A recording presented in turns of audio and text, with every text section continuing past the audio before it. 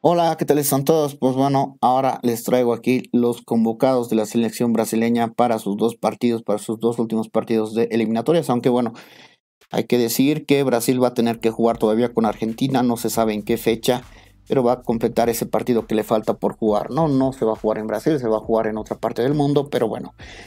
Y ya hace unos días les di a conocer la nómina de la selección boliviana, que básicamente es una selección sub-23. Vamos a ver qué es lo que presenta Farías pero Brasil ha convocado, la verdad es que a sus mejores jugadores del momento.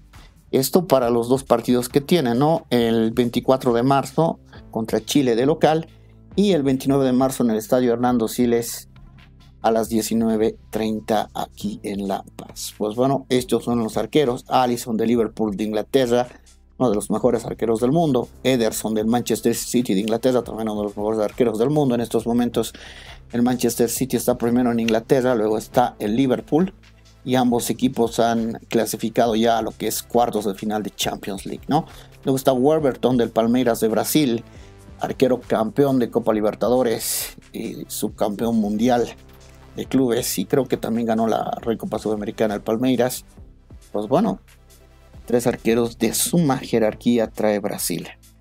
En cuanto a los laterales, tenemos a Danilo de la Juventus de Italia, Dani Alves del Barcelona de España, que seguramente si juega va a ser el capitán, un jugador que ya mostró su valía en Copa América y algunas cositas en Sao Paulo, ¿no? Y sobre todo en eh, lo que fue en las Olimpiadas. Alex Teles del Manchester United de Inglaterra, que Arana del Atlético Mineiro de Brasil, el Atlético Mineiro que es el actual campeón del fútbol brasileño. Entre los zagueros tenemos a Thiago Silva del Chelsea de Inglaterra, el actual campeón del mundo, que bueno, no sabemos qué es lo que va a pasar con el Chelsea por el problema este, de la guerra. El Chelsea estaría quebrando. Vamos a ver qué pasa estos días, ¿no? Marquinhos del Paris Saint Germain de Francia, bueno, el jugador que le regaló el tercer gol a Karim Benzema y la clasificación al Real Madrid. Eder Militao, justamente del Real Madrid de España, un jugador que está mostrando también grandes condiciones ahí en la saga de unos de los mejores clubes del mundo. Magallán, Magaláes del Arsenal de Inglaterra, un jugador no, no lo conocemos demasiado. Entre los volantes, Arthur de la Juventus de Italia, un jugador que ya brilló en el gremio, pasó por el Barcelona y ahora en Juventus se está consolidando. Casimiro del Real Madrid de España, un jugador insustituible ahí en, en la Casa Blanca. Fred del Manchester United de Inglaterra. Fabinho de Liverpool de Inglaterra los volantes, Bruno Guimaraes de Newcastle de Inglaterra, el club que va a ser el más rico del mundo y seguramente va a convocar a los mejores jugadores del mundo ya desde el segundo semestre de este año, ¿no?